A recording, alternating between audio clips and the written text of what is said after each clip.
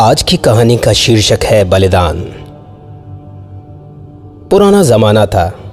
एक महान त्यागी तरुण ने अपनी घोर साधना के बाद 16 साल की आयु में भक्ति का एमए पास किया। इनका नाम था उग्र तपस्वी दत्तात्रेय। उस समय अवध में राजा मूड मानधाता राज्य करते थे। वे काली माता के उपासक थे। पुजारी उपासक और भक्त, मैट्रिक बीए और एमए की तरह अलग अलग होते हैं। भक्त को महात्मा भी कहते हैं। एक रात सपने में राजा ने काली माता के दर्शन किए। माता ने कहा, बलिदान। माता जी के कहने का आश्रय था, अपने अहंकार का बलिदान कर मेरी भक्ति प्राप्त कर। परंतु राजा उस बात को समझ नहीं पाया और उसने निश्चय किया कि काली माता की मूर्ति के सामने अगर किसी आदमी की बलि देगा तो यह राज का कुशल होगा, वरना राज्य का कुशल नहीं होगा। राजा को भय और चिंता से रात भर नींद नहीं आई। प्रातकाल मंत्री को सूचना दी कि राज्य भर में यह मुनादी करवा दो। जो आदमी काली माता का बलिदान बनेगा, उसके घर वालों को राजा एक लाख रुपए देगा। इस पवित्र काम के लिए किसी नवयुवक को अग्रसर होना चाहिए। इस नोटिस को साल भर हो गया, कोई नहीं आया। एक दिन राजा ने फिर वही सपना देखा और वही सुना, बलिदान।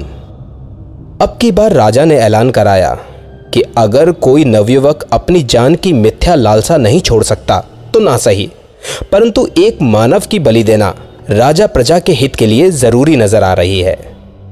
अगर कोई किसी बूढ़े, अंधे या पागल को इस पवित्र काम के लिए राज़ी कर लेगा तो वह एक लाख का पुरस्कार पाएगा। इस दूसरे विज्ञापन को भी एक साल हो गया। बहुतेरे बूढ़ों से उनके घर वालों ने कहा कि आखिर एक दो साल में स्वयं ही मर जाओगे। क्यों ना घर वालों को एक लाख रुपए देकर मरो। परंतु अपने हाथ, अपनी मौत बुलाने पर कोई राज़ी ना हुआ। एक रात राजा ने फिर वही सपना देखा और वही हुक्म सुना। राजा बहुत घबराने लगा। राजा ने निश्चय किया कि अब वह खुद ही किसी आदमी की खोज करेगा। शिकार खेलने के बहाने राजा दिन दिन और रात रात घूमने लगा। सातवें दिन एक जंगल में एक आम के वृक्ष के नीचे राजा ने भक्त दत्तात्रेय जी को चुपचाप बैठे देखा। राजा ने सोचा, जैसे भी हो, इस आदमी को मना लेना चाहिए। झूठ बोलूँगा, जालसाजी करूँगा, लेकिन इस लड़के को बलिदान के लिए लेकर ज़रूर जाऊँगा। भला राजा के लिए दफ़ा 420 थोड़े ही है। मालूम होता है यह लड़का किसी बात पर माता पिता से रूट कर यहाँ आ बैठा है। पचास रुपए मासिक की नौकरी का लोभ ही इसे मेरे महल तक पहुँचाने का साहस रखता है। सतयुग में भी कलयुग रहता है और कलयुग में भी सतयुग। चारों में चारों हैं। भक्त के पास राजा ने घोड़ा खड़ा किया और उससे बातचीत शुरू करी। राजा बोला, तुम कहाँ रहते हो? भक्त बोला, शिव ही सब है। राजा ने बोला, मैं पूछता हूँ कि तुम किस गाँव में रहते हो? भक्त फिर बोला, महावीर सा वीर महावीर है। राजा बोला, तुम्हारा नाम क्या है? भक्त दत्तात्रेय फिर बोले, अंतिम गुरु दो हैं, एक कच्चा बाबा, एक सच्चा बाबा। राजा बोला, मैं यह पूछता हूँ कि तुम्हारा नाम क्या है? भक्त फिर बोला, जो सत्य होगा, वही सुंदर होगा और वही शिव होगा। राजा सोचने लगा, मैं खेत की कहता हूँ और यह खलियान की। मैं कानपुर जाता हूँ तो यह आगरा जाता है। वजह क्या है? यह खूबसूरत लड़का जो एक गरीब राजकुमार की तरह बैठा है। बहकी हुई बातें क्यों करता है? क्या सनकी है? पागल तो नहीं है? भय से भेद खुलता है। राजा बोला, तुम चोरी करके भागे हो। मैं राजा हूँ। मैंने तुमको गिरफ़्तार किया। भक्त बोला, नेम का राजा रामचंद्र, प्रेम का राजा कृष्णचंद्र। राजा बोला, मेरे पास तुम्हारा वारंट है। भक्त बोला, शिव ही सब है, शिव ही सब है। राजा बोला, चुपचाप रहो बदमाश। भक्त बोला, माया बन रही है परमात्मा और परमात्मा बन रहा है जीवात्मा। हाय, अब कैसे कल्याण होगा? इतना कहकर वह फूट फूट कर रोने लगा। उसके नैनों में से मोती की मालाओं की तरह आँसू टपकने लगे। राजा ने निश्चय किया कि यह लड़का पागल है। घोड़े से उतरा, राजा ने उस लड़के को अपने पीछे बिठाया और महल की राह ली। राजधानी के बाहर, पूर्व में काली माता के मंदिर के पास। आज भारी भीड़ हो रही है। चार पंडित प्रातःकाल से हवन कर रहे हैं। दोपहर को एक बजे एक सुंदर लड़के का बलिदान होगा। लड़के, लड़की, नर, नारी सभी आ रहे हैं। पुलिस सबको गोल चक्कर में बिठा रही है।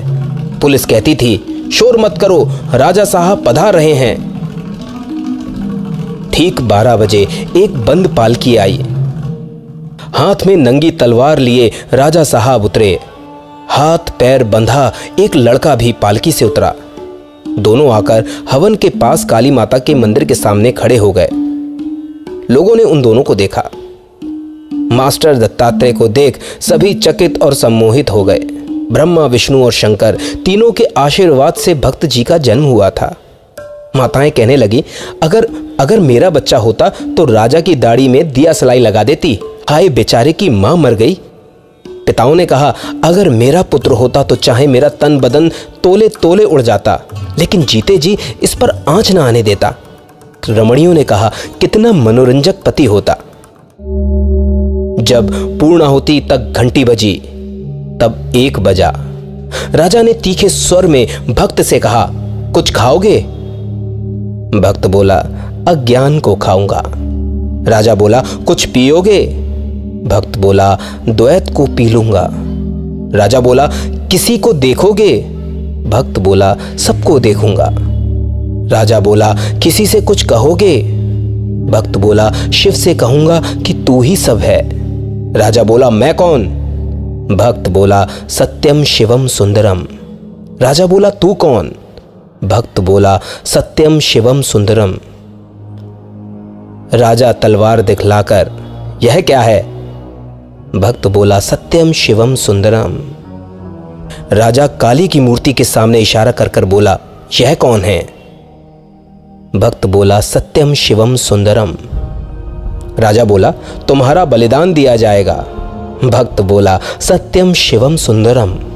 राजा तलवार उठाकर, जय काली! पब्लिक में हाहाकार मच गया।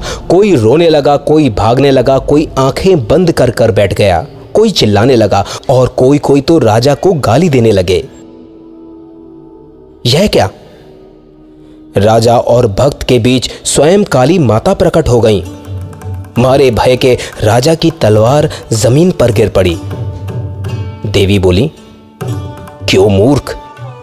यह क्या कर रहा था?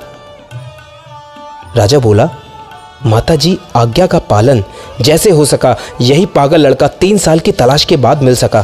क्षमा करो माता। देवी बोली, पागल लड़का? राजा बोला, जी हाँ। देवी बोली, कौन है पागल? राजा बोला, यह लड़का। देवी बोली यह पागल है या तू पागल है? राजा बोला, माँ, मैं समझा नहीं। देवी बोली, परमात्मा रूपी बादशाह के ये एक शहजादे हैं। इन्हें बचाने के लिए मुझे बड़ी दूर से आना पड़ा। अरे मूर्ख! प्रथम यह बता कि मैंने तुझसे अहंकार का बलिदान चाहा था या किसी मेरे बच्चे को अकारण मार डालने को कहा था? राजा बोला, समझा नहीं माँ। देवी बोली, और मारने के लिए मिला वह कि जिसे स्वयं मौत नहीं मार सकती? राजा अवाक रह गया।